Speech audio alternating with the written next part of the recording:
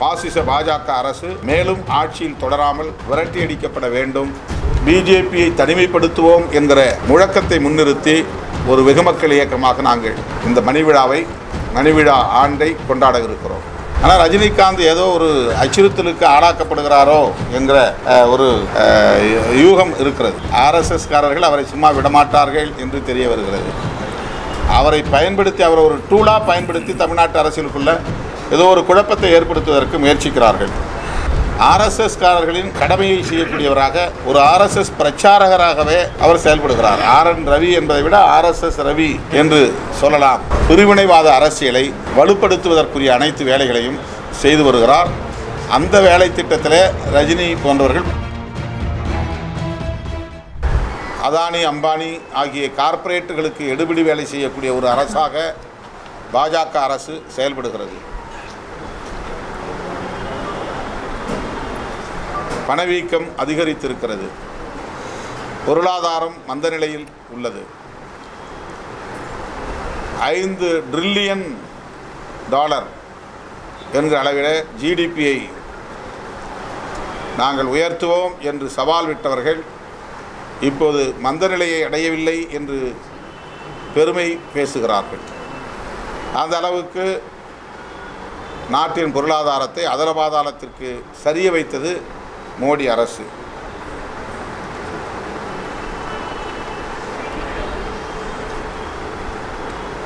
எனவே இந்த அரசு மக்களுக்கான அரசு அல்ல அவர்கள் மொழியில் சொல்ல வேண்டுமானால் இந்துக்களுக்கான அரசும் அல்ல.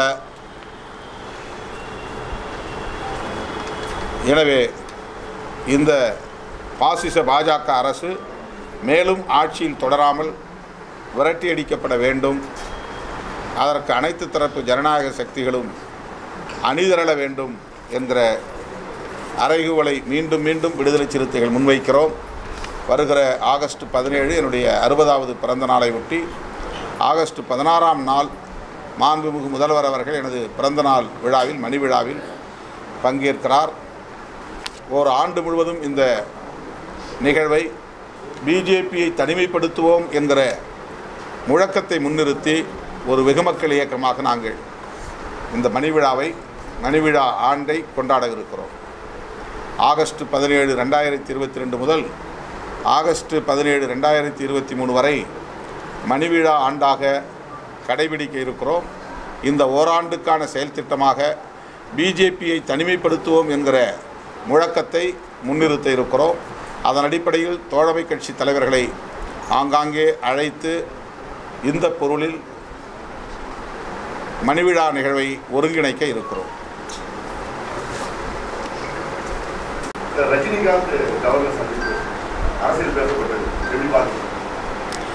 யாரும் யாரையும் சந்திக்கலாம். சந்திக்கக்கூடாதுன்னு நம்ம வந்து எதுவும்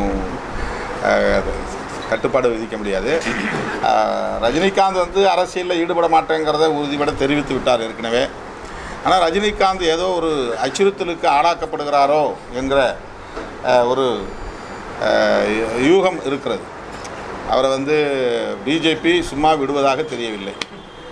ஆர்எஸ்எஸ்காரர்கள் அவரை சும்மா விடமாட்டார்கள் என்று தெரிய வருகிறது. அவரை பயன்படுத்தி அவரை ஒரு டூலாக பயன்படுத்தி தமிழ்நாட்டு அரசியலுக்குள்ள ஏதோ ஒரு குழப்பத்தை ஏற்படுத்துவதற்கு முயற்சிக்கிறார்கள். ஆர் என் ரவி அவர்கள் இந்த மாதிரியான நடவடிக்கைகளுக்கு பேர் போனவர். ஏற்கனவே அவர் இந்த மாதிரி நடந்ததால் அவர் நாகாலாந்தில் பொதுமக்களால் எதிர்ப்பு தெரிவிக்கப்படக்கூடிய அளவுக்கு கண்டிக்கக்கூடிய அளவுக்கு செயல்பட்டவர். அந்த மாதிரியான செயல்பாடுகளால் மக்களால் கண்டிக்கப்பட்டவர். போராட அவருக்கு எதிரான போராட்டம் நடந்தது. இன்றைக்கு தமிழகத்தில் அவருடைய அரசியல் அவருடைய நடவடிக்கைகள் என்பது மைய மாநில அரசுகளுக்கு இடையிலான ஒரு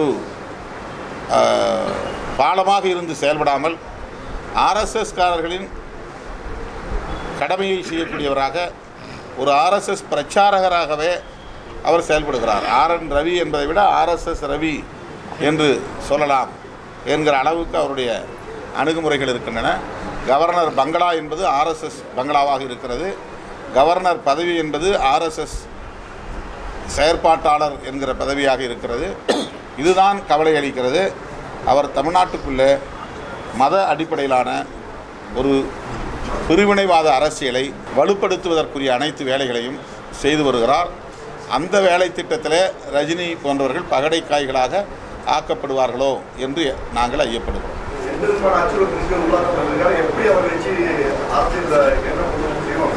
அவங்க எல்லா மாநிலங்கள்லையும் இந்த மாதிரி ரொம்ப பாப்புலராக இருக்கக்கூடிய ஆட்களை எல்லாம் கையகப்படுத்துகிறாங்க அதாவது சினிமா மூலமாகவோ அல்லது இலக்கியத் துறையிலையோ அல்லது விளையாட்டுத் துறையிலையோ இந்த மாதிரியான மக்கள் மத்தியில் செல்வாக்கு பெற்றவர்களை கையகப்படுத்தி அவர்கள் மூலமாக மக்களை அணுகக்கூடிய ஒரு வேலையை அவர்கள் செய்து வருகிறார்கள். அந்த வகையில் வந்து இங்கே சினிமாக்காரர்களை பயன்படுத்துவதற்கு எல்லா வேலை திட்டங்களையும் தயாரித்து விட்டார்கள். அதிலே இப்போது ரஜினியும் ஒரு டார்கெட் என்று நாங்கள் கருதுகிறோம்.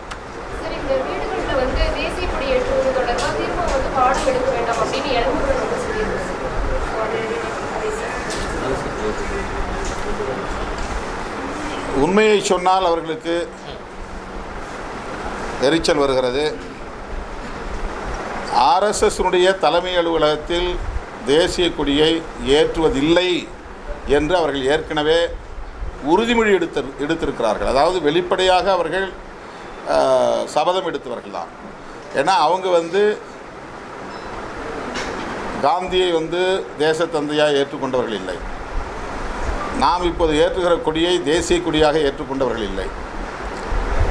நாம் இப்போது அழைக்கிற இந்தியா என்கிற பெயரை மனப்பூர்வமாக அவர்கள் ஏற்றுக்கொண்டவர்கள் இல்லை. மதசார்பின்மை என்கிற கருத்தை அவர்கள் ஏற்றுக்கொண்டவர்கள் இல்லை.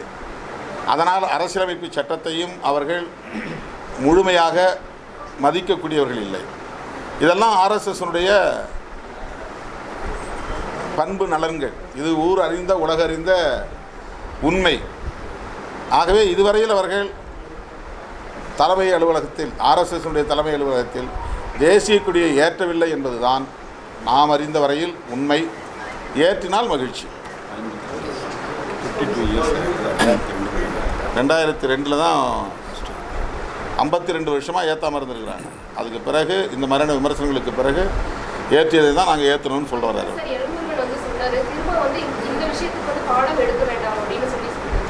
அவங்களுக்கு பாடம் எடுக்கிறதுக்கு நான் ஒன்றும் பேராசிரியர் இல்லை. எங்கள் எங்கள் வழியை நாங்கள் வெளிப்படுத்துகிறோம் அவ்வளோதான் நான் யாருக்கும் பாடம் எடுக்க விரும்பல. அவங்கள அம்பலப்படுத்துகிறோம் அவங்களுடைய உண்மை முகத்தை நாங்கள் வெளிச்சம் போட்டு காட்டுகிறோம். அவர்கள் மக்களிடத்தில் அதுவும் குறிப்பாக இந்துக்களிடத்திலே நடிக்கிறார்கள். இந்துக்களின் பகைவர்கள் சங் பரிவார்கள். அதை இந்துக்கள் புரிந்து கொள்ள வேண்டும்.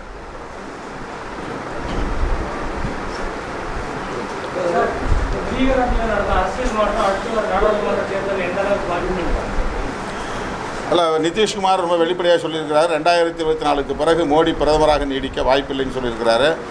இதுக்கு முன்னாடி அவர் பிஜேபி வலையில் சிக்கி கொண்டாலும் கூட பிஜேபிக்கு துணை போயிருந்தாலும் கூட இப்போது விழித்து கொண்டார் நிதிஷ்குமார்.